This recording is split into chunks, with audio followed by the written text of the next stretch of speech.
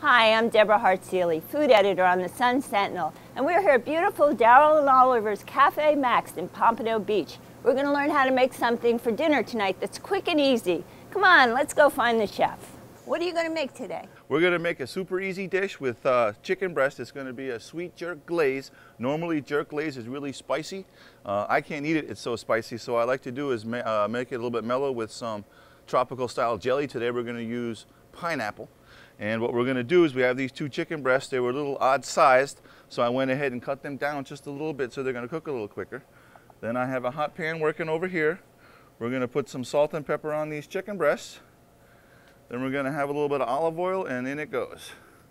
Nice and hot. It's almost, yeah, it is just about smoking. In they go. And you could do this out on the grill just as well little side burner action going on. What we're gonna do is make a couscous with snow peas. I'm gonna go ahead and put a lid on this baby here. Maybe turn that heat down just a little bit. So over here in this other pan, I have the uh, couscous with snow peas going. And what I did here, I sliced some scallions and I took the whites and I put them inside of the uh, pan here. And we're just gonna saute that a little bit with some olive oil again. Let's see what's going on under here.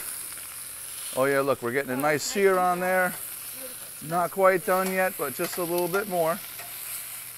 And for me, the best way to cook chicken breast is not to cook it all the way. Cook it to like medium well, and then let it rest in the pan to cook the rest of the way, and that's how it stays perfectly, succulently juicy. Let's go back and make our uh, mango jerk uh, glaze. So I got about a tablespoon in here, and then I'm gonna mix this with some pineapple jelly, probably about equal parts there.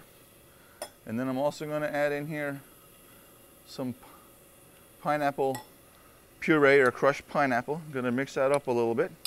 And then we're going to squeeze a lime into here. Usually what you want to do is kind of cut the, uh, I guess what do you oh, call those little rib that's in there like that, that and it makes it a little bit easier to squeeze. That's brilliant. Takes just a second. We're going to go ahead and mix that up.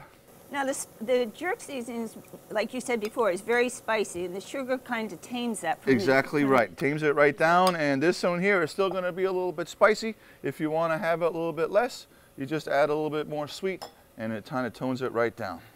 Beautiful. So what we're going to do now is deglaze this with a bit of wine. You can do that with any kind of liquid, can't you? Uh, yeah, you could use a little bit of apple juice or even some pineapple juice because that kind of matches all this together. I like to add just a little bit of chicken broth and that's going to kind of help make the sauce.